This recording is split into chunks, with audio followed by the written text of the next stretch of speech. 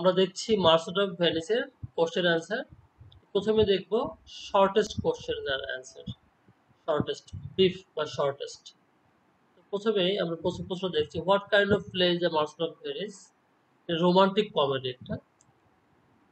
Romantic comedy কারণ আমরা দেখেছি যে এখানে তোমার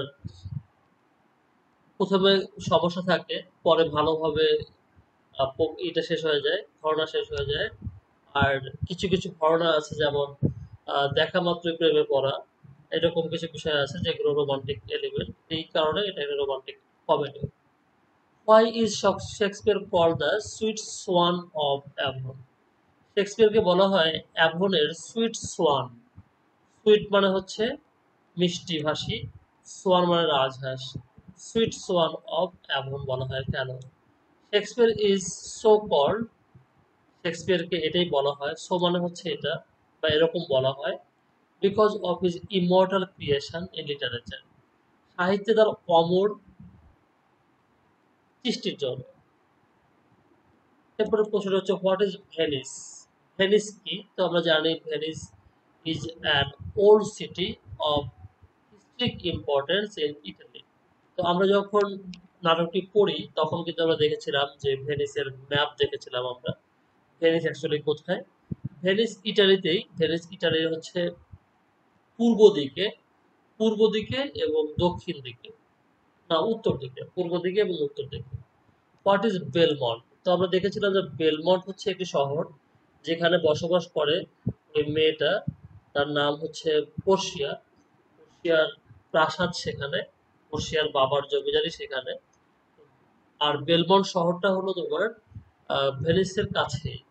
Belmont is a contiguous town contiguous মানে হচ্ছে তোমার লাগোয়া মানে সংলগ্ন, যাকে বলি আমরা বাংলায় বলে থাকি। সংলগ্ন। সংলগ্ন হচ্ছে contiguous town to Venice in Italy famous for her civilised culture এটা বিখ্যাত হচ্ছে এর সভ্য সংস্কৃতির জন্য। সুসভ্য সংস্কৃতি।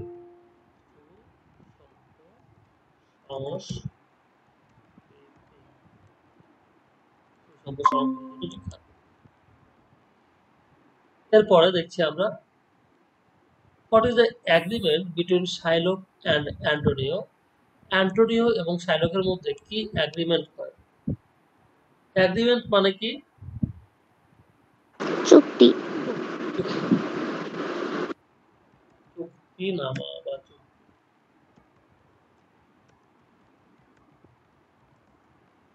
Shylock will pay Antonio three thousand ducat তার মানে তিন হাজার ডুকাট দিবে শাইলক না অ্যান্টোনিও শাইলককে না সরি শাইলক অ্যান্টোনিওকে দিবে থ্রি হাজার ডুকাট আন্ডার দ্য কন্ডিশন এই শর্তে যে Shylock will take a pound of flesh Shylock এক কেজি, এক পাউন্ড মাংস নিয়ে নিতে পারবে। মাংস নিতে পারবে from any part of Antonio's body অ্যান্টোনিওর শরীরের যে কোনো অংশ থেকে in case of his failure to repay the loan in time সময় মতো যদি সে টাকাটা ফেরত দিতে না পারে, তাহলে তাকে এই মাংসটা দিতে হবে। How does Portia's father condition her marriage পোর্শিয়ার বাবা তার বিয়ের জন্য কিছু কন্ডিশন দিয়েছিল। তথ্য মানে কিছু ই দিয়েছিল? শর্ত দিয়েছিল। শর্তটা কি? পর্শিয়ার বাবার মানে পর্শিয়ার বিয়ের জন্য শর্ত কি ছিল? শর্তগুলো ছিল এরকম, Portia will have to marry the man who chooses rightly. Portia সেই লোকটাকে বিয়ে করবে যে সঠিকভাবে পছন্দ করতে পারবে from among the three chest of gold তিনটা স্বর্ণের বাক্স থাকবে স্বর্ণের বাক্সের মধ্যে থেকে তাকে বেছে নিতে হবে। তিনটা বাক্স থাকবে। একটা বাক্স থাকবে সোনার, একটা বাক্স থাকবে রূপার, আর একটা বাক্স থাকবে সীসার এই যে তিনটা বাক্স, এই তিনটা বাক্স থেকে সে যে কোনো একটা চুজ করবে।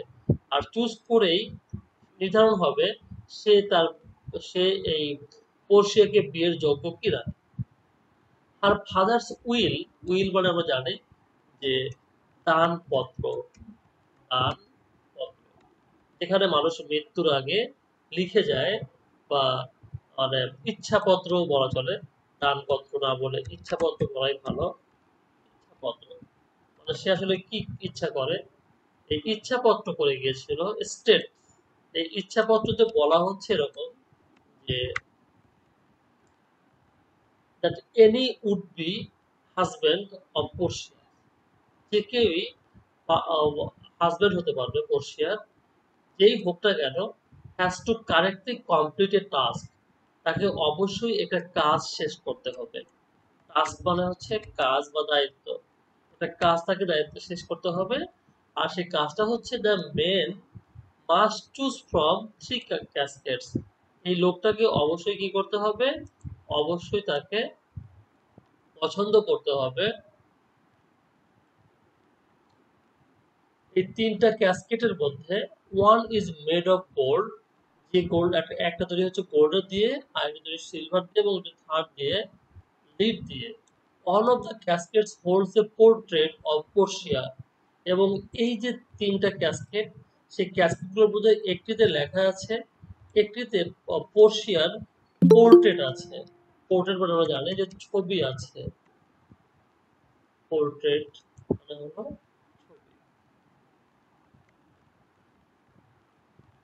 ছবি। আছে। ওয়ালাইকুম আসসালাম। And whoever and whoever chooses this one will become her husband এবং যে বাক্সে ওর ছবিটা আছে, সে যদি চুজ করে এই বাক্স, ছবির বাক্সটা, তাহলে সেই তার হাজবেন্ড হবে। এটাই ছিল হচ্ছে তার উইল বের বা শর্ত Why does Shylock hate Antonio. Shylock কেন অ্যান্টোনিওকে হেড করে বা ঘৃণা করে? তো তোমার মনে আছে কি কেন ঘৃণা করে শাইলক? শাইলক তো হচ্ছে মানে এই খ্রিস্টানদের পছন্দ করে না। সে তো হচ্ছে শাইলক হলো উনি এমন কালচারগুলো করে যেগুলো অমানবিক। আর অ্যান্টোনি খ্রিস্টান। খ্রিস্টান হওয়ার কারণে তার কিছু মানবিক আছে এই কারণে আর শায়লকের একটা উদাহরণ, সে সুদের সাথে related Shylock hates Antonio because he is a Christian and lends money to people without charging excessive interest. তার মানে শাইলক অ্যান্টোনিওকে ঘৃণা করে, কারণ শাইলক একজন খ্রিস্টিয়ান সে খ্রিস্টান আর শাইলক হচ্ছে ইহুদি এবং অ্যান্টোনিও যে কাজটা করে টাকা ধার দেয় মানুষকে কোন রকমের অতিরিক্ত সুদ না নিয়ে। এই সুদ না নিয়ে ধার দেওয়ার কারণে তাকে অপছন্দ করে হচ্ছে Antonio sorry Shylock. What was the? অ্যান্টোনিওর বিরুদ্ধে শাইলকের অভিযোগ কি ছিল? Shylock accused Antonio of having repeatedly spit upon him সে তাকে বারবার থুতু দিয়েছে and called him a dog এবং তাকে কুকুর বলেছে। তাকে থুতু দিয়েছে, তার উপর গাল বন্ধ করেছে এবং তাকে কুকুর বলেছে। এটা হচ্ছে তার অভিযোগ যে শাইলক, শাইলকের অভিযোগ অ্যান্টনিওর বিপক্ষে। What was written on the golden casket golden ক্যাসকেটের উপরে কি লেখা ছিল? গোল্ডেন ক্যাসকেটের উপর লেখা ছিল who choose me shall gain what many men desire তার মানে এখানে বলা হয়েছিল, আমাকে যে পছন্দ করবে, সে তা পাবে অনেক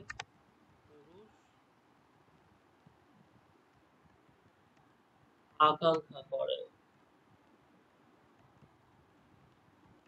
এই কথাটা লেখা ছিল গোল্ডেন ক্যাসকেটের মধ্যে।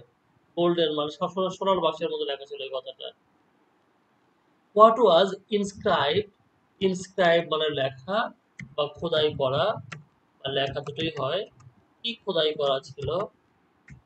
অন দ্য সিলভার ক্যাসকেট রূপার ক্যাসকেটে কি খোদাই করা ছিল? On the silver casket the words choose to me shall get as much as he deserves এটা ইনস্ক্রাইব করা ছিল। মানে যে আমাকে পছন্দ করবে, সে কতটুকু পাবে তা সে যতটুকু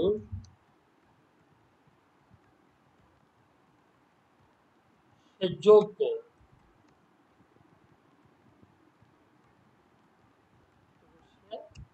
এই কথাটা লেখা ছিল হচ্ছে কোথায়? এটা লেখা ছিল হচ্ছে সিলভার গোল্ডেন ক্যাসকেটে লেখা ছিল হচ্ছে এই কথাটা যে আমাকে যে পছন্দ করবে সে তা পাবে যা অনেক পুরুষ আকাঙ্ক্ষা করে। আর আমাকে যে পাবে যে আমাকে পছন্দ করবে সে ততটুকু পাবে, যতটুকু সে যোগ্য। এটা ছিল হচ্ছে সিলভার ক্যাসকেটে লেখা।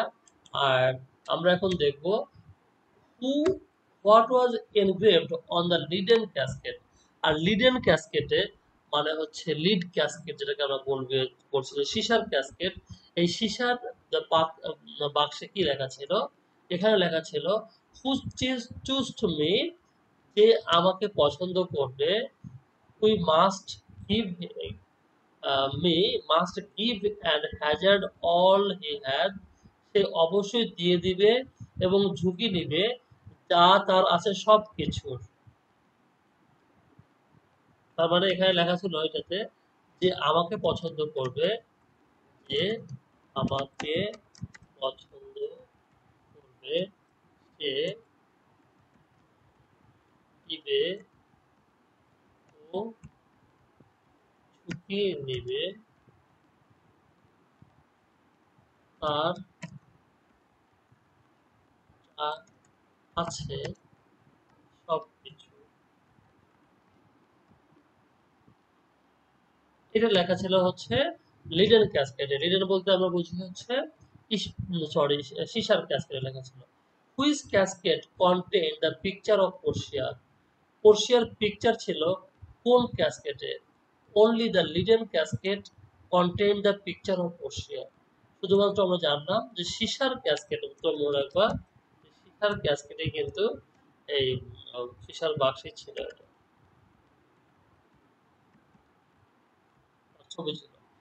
ক্যাসকেট ডাজ চুজ যে চুজ করল একটি সেটা কোন ক্যাসকেটটা ছিল?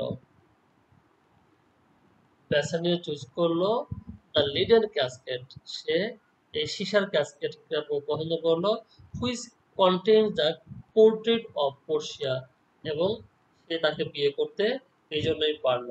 Why does Bassanio choose the leaden casket কেন ব্যাসানিও লিডেন ক্যাসকেটকে পছন্দ করল? তো এখানে একটা বিষয় তাকে হেল্প করেছিল Bassanio has been warn warn তাকে সতর্ক করা হচ্ছিল ব্যাকগ্রাউন্ড থেকে সতর্ক করা হচ্ছিল যে তুমি ব্যাকগ্রাউন্ডে যে মিউজিক বাজছিল সেই মিউজিক কিন্তু সবাই শুনছিল কিন্তু সবাই শুনেও কিন্তু মিউজিকের মর্ম কথাগুলো বুঝতে পারছিল না। কিন্তু ব্যাসানিও বুঝতে পারল সেই ব্যাকগ্রাউন্ড মিউজিকে বলা হচ্ছে যে তোমরা বাহির দেখে বাহির দেখে ভিতর হ্যাঁ, বাহির দেখে ভিতরকে মূল্যায়ন করো না করো না। ভিতর আর বাহির সবসময় সমান হয় না এই কথাটা বলছিল।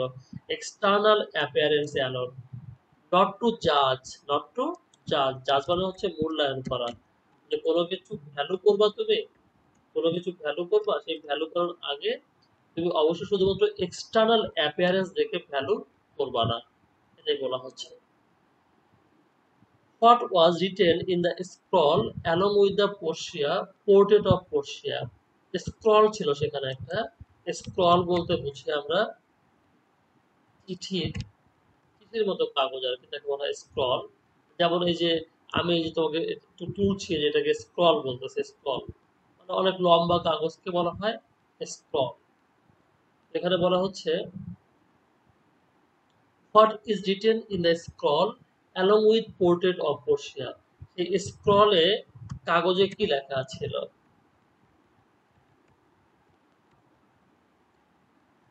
Turn on where your lady is এবং সেখানে লেখা ছিল, সেই পোর্শিয়ার পাশে যে কাগজটা ছিল, সেই কাগজটাতে লেখা ছিল turn you turn you where your lady is তার মানে তুমি ঘোরো, তুমি সেখান থেকে এখন তোমার মুখ ঘোরাও। ফিরে যাও ফিরে যাও ফিরে যাও, যেখানে তোমার যেখানে তোমার প্রেয়সী আছে।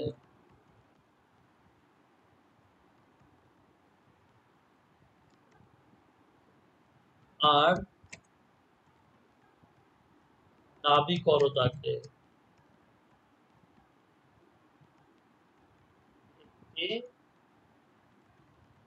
ভালোবাসার তার মানে এই কথাটা লেখা ছিল। এই কাগজ ছিল, সেই কাগজে এই কথাটা লেখা ছিল যে যে এটা পাইছে সে তাকে বলা হলো যে turn on your lady turn in you where lady is and claim her with a loving case তাহলে বোঝা গেল যে যে এটা পাবে, সে তাকে পেয়ে গেল। ছবি সহ পেয়ে গেল সেই মেয়েটাকে।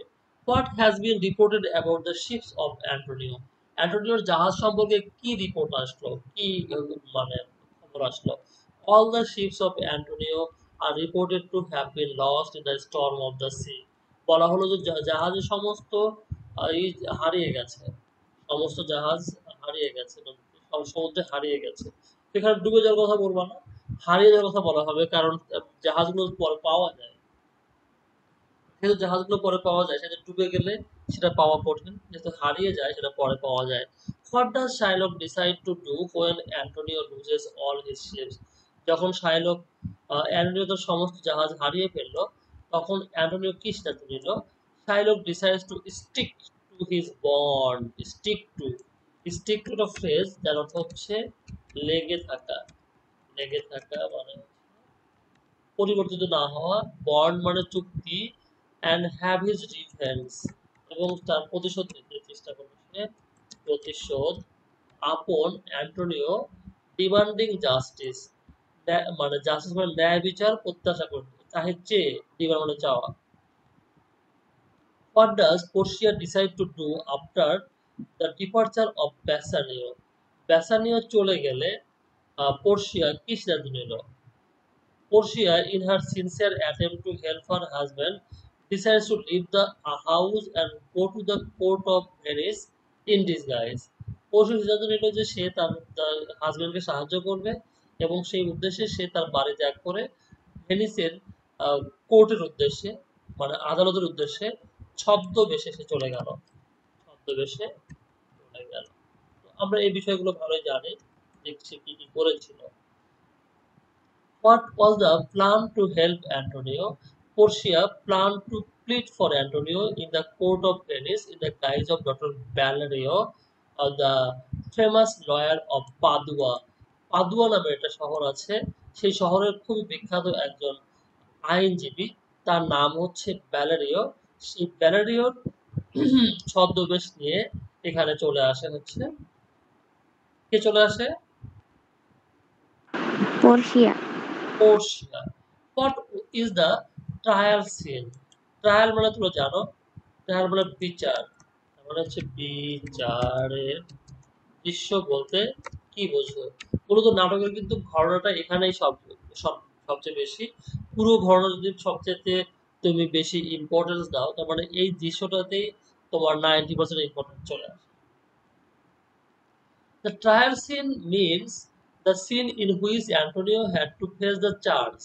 অ্যান্টোনিওকে সেই অভিযোগ মুখোমুখি হতে হয় of Shylock for his future failure to pay off his debt to him in in time সময় মতো তার ঋণ শোধ করতে। What does Shylock what does Shylock plead in the হচ্ছে আরজি জানানো। আরজি জানানো। আরজি মানে হচ্ছে আবেদন করা। Shylock pleads to the duke that he will stick to the condition সে বলল যে, আমি আমার শর্তে অনর থাকব of the bond and will accept anything except the pound এবং সে অন্য কিছুই গ্রহণ করবে না। বাদে, কি বাদে? অ্যান্টোনিওর এক কেজি, এক পাউন্ড মাংস বাঁধে who is actually doctor Balthazar doctor Balthazar actually K The young Dr. Balthazar is no other than young lady Portia, who comes to the court in the dress of Doctor of Lodge. তার মানে এখানে doctor বালথাজারের বেশে কি আসলো young বালথা young বালথাজারের বেশে আসলো হচ্ছে পর্শিয়া অন্য কেউই ছিল না, সে কোর্টে এসেছিল ডক্টর অফ লজ হয়ে সে হচ্ছে Portia. What does Portia Portia say about mercy যদিও এখানে পর্শিয়া সে সে না, সে অ্যাকচুয়ালি ডক্টর অফ লজ এই যে ডক্টর অফ লজ বা আইনজীবী, এই আইনজীবী দয়া সম্পর্কে সে কি বলেছিল? দয়া বলতে কি বোঝায়?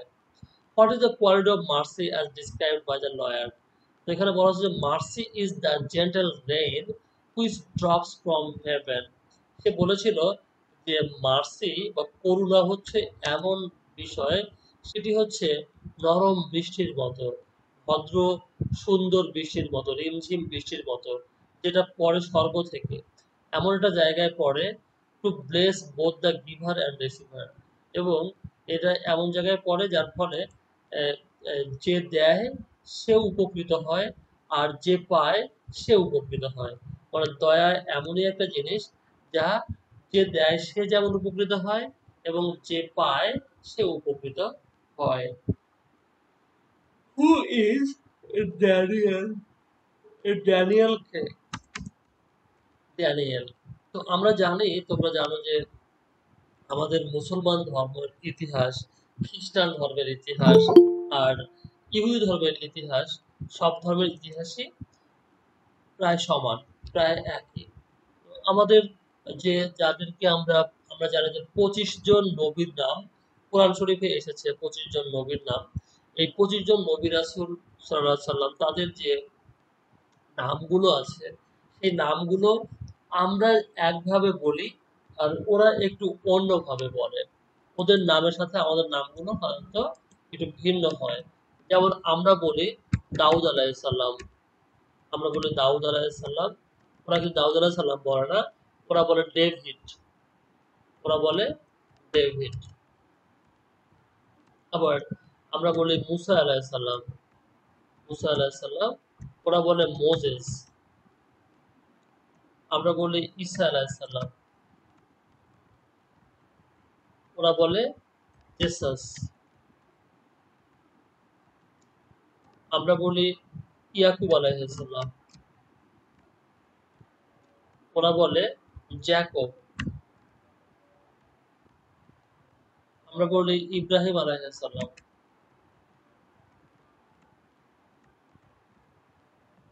ওরা বলে, আব্রাহাম।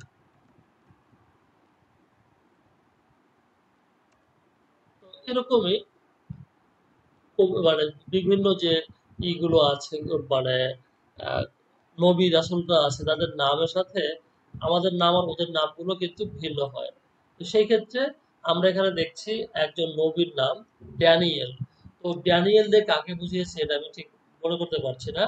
এখানে প্রশ্ন হচ্ছে who is Daniel Daniel is a great prophet তিনি একজন বড় নবী। প্রফেট মানে কিন্তু তোমরা জানো প্রফেট অর্থ হচ্ছে নবী।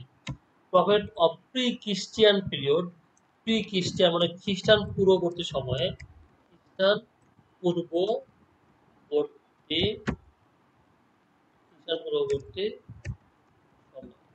একটা বিষয় খেয়াল করে দেখো, খ্রিস্টান সময় বলতে কিন্তু বোঝাচ্ছে আমাদের আগেই খ্রিস্টানরা ছিল।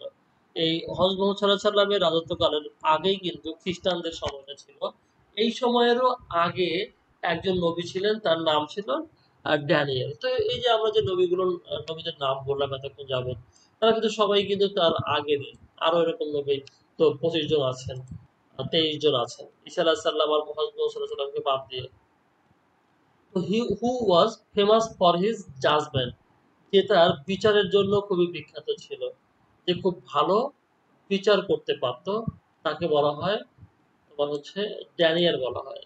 তিনি হচ্ছে what is the miracle which saves the life of Antonio কোন অলৌকিক বিষয় যা অ্যান্টোনিওর জীবনকে বাঁচালো how does the lawyer prevent the Jew from cutting flesh from Antonio's body অথবা প্রশ্ন হবে এরকম, কীভাবে এই আইনজীবী তার শরীর থেকে মাংস কাটা থেকে তাকে রক্ষা করল? The learned lawyer prohibits the Jew এই লার্নেড মানে এই জ্ঞানী, শিক্ষিত বা শিক্ষিত আইনজীবী তাকে নিষেধ করে প্রহিবিট মানে হচ্ছে। নিষেধ করা। দ্য জু এই শাইলককে নিষেধ করে from shedding even a drop of blood তাকে বলে যে এক ফোঁটাও রক্ত ফেলবে না। And ask him to take just one pound of flesh not more than or more or less এর সাথে বেশিও নিবা না, কমও নিবা না। এক পাউন্ড মাংসই তোমাকে নিতে হবে। হোয়াট হ্যাজ এভাবেই সে তাকে বাঁচিয়ে দেয়। What has become of Shylock at the end of the suit suit অর্থ হচ্ছে মামলা। সুট অর্থ হচ্ছে মামলা। তো মামলার শেষে কি হয় শাইলকের Shylock is left stripped of his daughter শাইলককে যেটা করা হয়, তার মেয়ে থেকে তাকে আলাদা করা হয়। স্ট্রিপ অফ মানে হচ্ছে তাকে আলাদা করা। হিজ প্রপার্টি তার সম্পত্তি থেকে কেড়ে নেওয়া হয়। অ্যান্ড হিজ রিলিজিয়ান এবং তার ধর্ম কেড়ে নেওয়া হয়। তার মানে সে তিনটা জিনিসই হারায়। একটি তার মেয়ে একটি তার সম্পত্তি, আর একটি হচ্ছে তার ধর্ম। হু ইজ অরফিয়াস অরফিয়াস কে? অরফিয়াস হচ্ছে তোমার magical musician of ancient Greece প্রাচীন গ্রিসের একজন ম্যাজিক্যাল মিউজিশিয়ান ছিল। ম্যাজিক্যাল মানে হচ্ছে জাদুকরি, একজন সঙ্গীতবিদ ছিল। তার নাম ছিল অরফিয়াস অরফিয়াসের বাঁশির বাঁশরি। আমরা যখন বিদ্রোহী কবিতা পড়ি, কাজী বিদ্রোহী কবিতা পড়লে তোমরা এখানে পড়বা যে অরফিয়াসের উনি বলে যে আমি অরফিয়াসের বাঁশের বাঁশরি।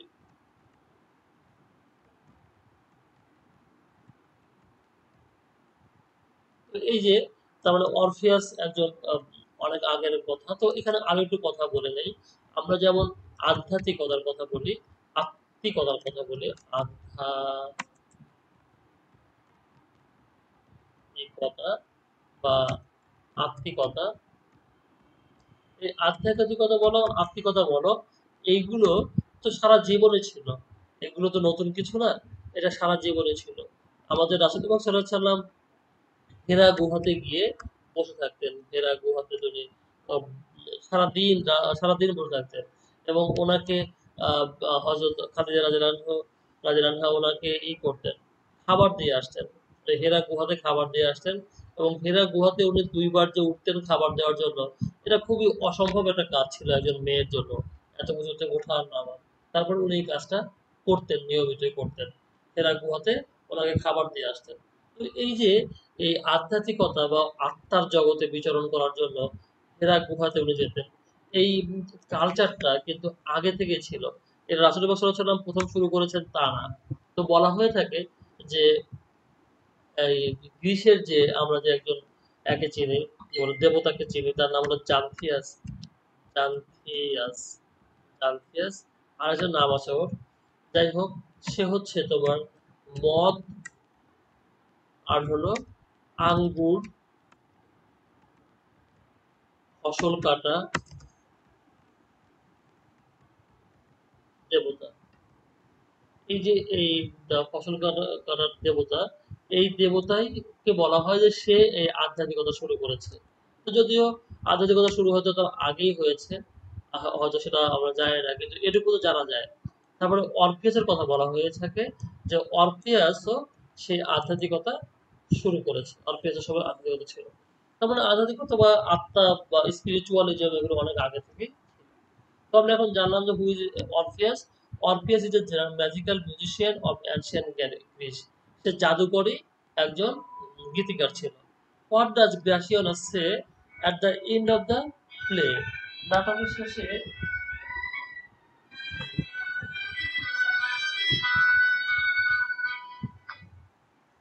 নাটকের শেষে গ্র্যাটিয়ানো কি বলে? What does Gratiano say at the end of the drama Gratanio promises that he will not be afraid of anything more than keeping Danisha's ring safely with him. সে বলে যে, আমি আর কোনো কিছুকেই ভয় পাবো না। শুধুমাত্র এই রিংটাকে, আংটিটাকে নিরাপদে রাখা। এইটাই হবে সবচেয়ে বড় কাজ। Who is the hero of the play the Merchant of Venice Merchant of ভেনিসের সবচেয়ে বড় হিরোকে। ইজ দ্য হিরো এখানে একটা হিরোকে। তো আমরা জানি যে এখানকার হিরো হচ্ছে Antonio. The Merchant of Venice তো দেখলাম আমরা যে অ্যানোনিও হিরো ঠিক আছে, কিন্তু সে কিন্তু হিরোইন ছাড়া hero what is Shylock by religion শাইলকের ধর্ম কি? শাইলক হচ্ছে একজন ইহুদি।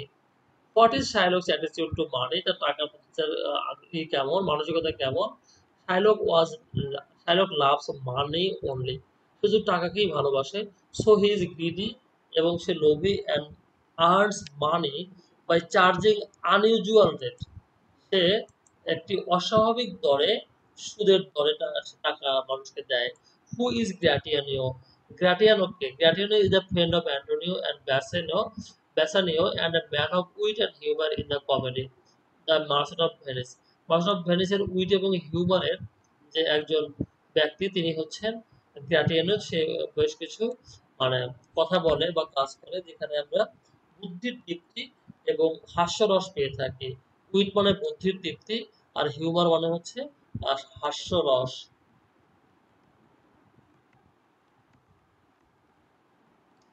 ওকে, এরপর দেখছি what role does Gratiano play in the play?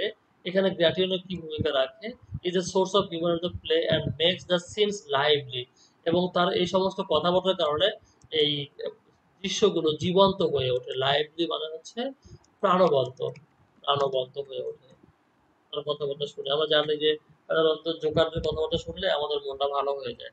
By his ceaseless talk unadmired by both Antonio and Bassanio ceaseless মানে বিরতিহীন, সে কথা বলতেই থাকে বিরতিহীন বিরতিহীন কথা বলতে থাকে, যেটা কখনো এই অ্যান্টোনিও এবং বেসানিও প্রশংসা করে না।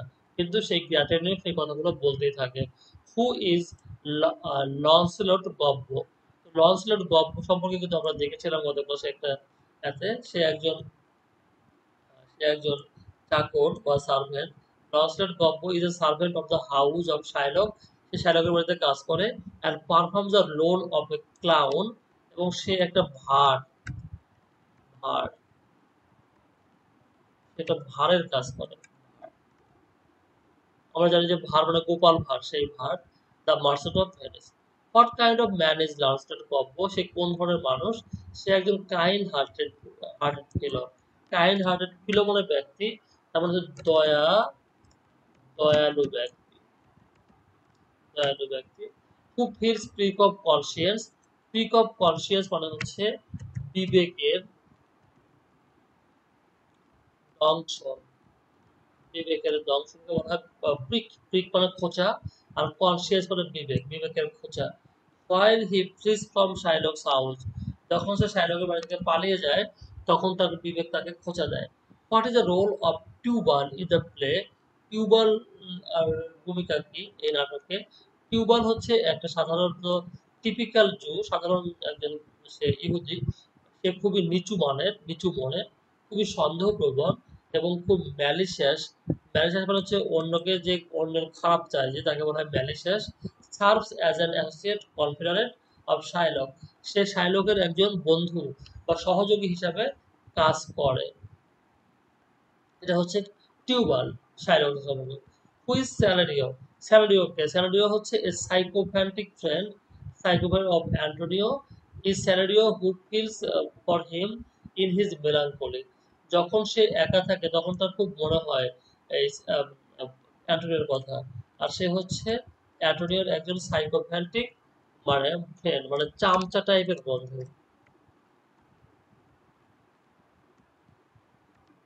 চামচা মানে বন্ধু কিন্তু সব মানুষের বন্ধু না। Solanio? Solanio is a merchant of merchant friend of Antonio, and he always moves with Solanio. In pair and loves Antonio heartily. তার মানে এখানে যেটা বলা হচ্ছে সে- সোলানিওকে সোলানিও আর সিলানিও একসাথে চলাফেরা করে, সেও ওর বন্ধু এবং ওরা দুজন সবসময় একসঙ্গে থাকে, অ্যান্টোনিওকে তারা পছন্দ করে। Who is Lorenzo Lorenzo is a loving Christian young Christian romantic and witty say romantic এবং বুদ্ধিমান বুদ্ধিমান। এবং সে প্রেম করে জেসিকার সাথে who represents the adventurous young men of those days ওই সময়কার যে সাহসী পুরুষ মানুষগুলো ছিল, কম বয়সী মানুষগুলো ছিল, তাদেরকে সে রিপ্রেজেন্ট করে মানে প্রতিনিধিত্ব করে। তার মানে ওই সময় কিছু সাহসী ছেলে ছিল, তাদের মতো সে ছিল। পোর্শিয়ার কোয়ালিটি গুলো কি কেমন ছিল? পোর্শিয়া ছিল উইটি, সে হিউমারাস ছিল, সে ওয়াইজ ছিল ইন্টেলিজেন্ট ছিল রিচ ছিল অ্যারিস্টোক্র্যাট ছিল অ্যারিস্টোক্র্যাট মানে অভিজাত ছিল এবং সর্বোপরি সে ছিল সিম্প্যাথেটিক ইয়াং লেডি সে সহানুভূতিশীল একজন ইয়াং লেডি ছিল। Why does Portia disguise herself as a lawyer Portia একজন আইনজীবী হিসেবে কীভাবে herself as a lawyer in those days women were not allowed to act as lawyers এই জন্য কি করেছিল? সে ডিসগাইজ করেছিল হচ্ছে কি হিসাবে? একজন পুরুষ হিসেবে সে ডিসগাইজ করেছিল। আচ্ছা তোমাদের সাথে একটা কথা শেয়ার করছি। কি বলে এখানে? তোমরা বেশ কয়েকজন আছো। থার্ড ইয়ারে তোমরা উঠলা জবের জবের একটা ক্লাস শুরু করতেছে ব্যাচ শুরু করছি পরে। তোমাদের কারও ইন্টারেস্ট আছে? জি স্যার। জব জবের ব্যাচ মানে এখানে তোমার সবগুলো সাবজেক্টই দেখানো হবে। তোমার প্রথমে আমরা বিভিন্ন ধরনের এক্সামগুলো যেমন কোশ্চেনগুলো হয়েছে যাতে বিসিএস এর কোশ্চেন তারপরে নন ক্যাডারের কোশ্চেন তারপরে এনটিআরসি এর বা নিবন্ধনের কোশ্চেন তারপরে তোমার হলো প্রাইমারি কোশ্চেন এই কোশ্চেনগুলো আমরা প্র্যাকটিস করব আর এই বিষয়গুলো নিয়ে আলোচনা করব। তো এই ক্লাসটা শুরু করব ঈদের পর পরই। কেউ জয়েন করতে চাইলে আমাকে জানাবা, আমি ওই গ্রুপেও তোমাদেরকে অ্যাড করে নেব। তাহলে ওদের সাথে যে সমস্ত কুইজ টুইজগুলো দেই, ওগুলো শুরু করলাম ঈদের আগে। আর ঈদের পরে যারা যারা শুরু করতে চাও, তাহলে তারা ওই ক্লাস শুরু করতে পারবে। ওকে এরপর দেখো how does Nerissa disguise herself the trial scene সে কেমনভাবে করেছিল? সে ওর ক্লার্ক হয়েছিল, ওর মোহরি হয়েছিল। নেরিসা মোহরি হয়েছিল। How does Jessica contribute to the plot of the play Jessica contribute করে নাটকের কাহিনীতে কন্ট্রিবিউট করে much of the romantic atmosphere of the play সে নাটকের রোমান্টিক বিষয়গুলো সে সার্ভ করে। কারণ আমরা জানি যে লরেঞ্জো আর জেসিকা ওখানে গ্র্যাটিয়ানো আর হচ্ছে নেরিসা আর সেখানে ব্যাসানিও আর পোর্চিয়া এদের মধ্যে কিন্তু রোমান্টিক বিষয়গুলো আসে। আর সবচেয়ে বেশি রোমান্টিক কিন্তু জেসিকা। যে কি করে? প্রেমের জন্য ঘর এবং ধর্মকে ছেড়ে দেয়। Why did Shylock break the argument with Antonio কেন শাইলক তার, অ্যা- অ্যান্টোনিওর সাথে তার অ্যাগ্রিমেন্টটাকে করে ফেলে? ভেঙে ফেলে। Shylock will pay Antonio three thousand ducats on condition that Shylock will take a pound of flesh from any part of Antonio's body in case of his failure to repay the loan in time. তার মানে সে কেন ভাঙবে কারণ সে কি করে না? পারে না। সে এটা মিস করে, সে দিতে পারে না। তো আমরা শর্ট কোশ্চেনগুলো শুরু করছি। Short question the merchant of Venice a bond story বা চুক্তিনামার গল্প সংক্ষেপে বর্ণনা করুন। অথবা দ্য মার্সেল অফ ভেনিসের এ বন্ড এপিসোড চুক্তিনামার প- পর্ব বর্ণনা করুন। তো এটি কিন্তু খুব গুরুত্বপূর্ণ প্রশ্ন। এটি আমাদের আসবে। তো এখানে বাংলা লিখে দেওয়া আছে। বাংলাটা দেখবা আগে। বাংলা দেখার পরে এটারই ইংলিশ করা আছে পরে এই যে প্রশ্ন হচ্ছে এরকম। Describe the bond story in brief in the Merchant of Venice describe the bond episode in the Merchant of Venice এটা এভাবে দেখবা। এখানে ওইটারই বাংলা ইংলিশ দেওয়া আছে এভাবে। যেটা বাংলা বললাম। তারপরে একটা প্রশ্ন শর্ট কোশ্চেন আরেকটা। আপনি কি মার্সেট অফ ভেনিসের কোনো কাব্যিক বিচার বা পোয়েটিক জাস্টিস খুঁজে পান? তো পোয়েটিক জাস্টিস বলতে কি বোঝায়? পোয়েটিক জাস্টিস বলতে বোঝায় হচ্ছে ন্যাচারালি কিছু কিছু পানিশমেন্ট হয় এবং ন্যাচারালি কিছু কিছু রিওয়ার্ড পায়।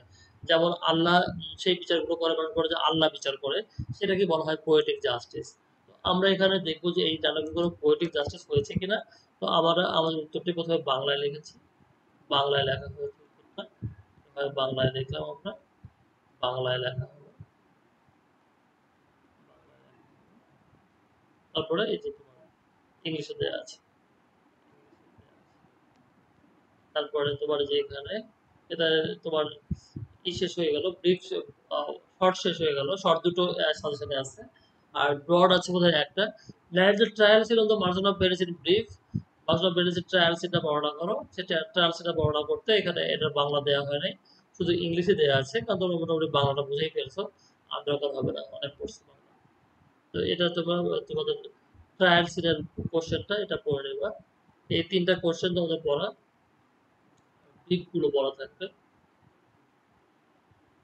তো তো শেষ করে ফেললাম আমরা আজকে সেটাটুকু তো আগামী ক্লাসে ইনশাল্লাহ আমরা ডাহেজ অফ মালফি দেখব। দ্য ডাহেজ অফ মালফি কালকেই ক্লাস তোমাদের এটা।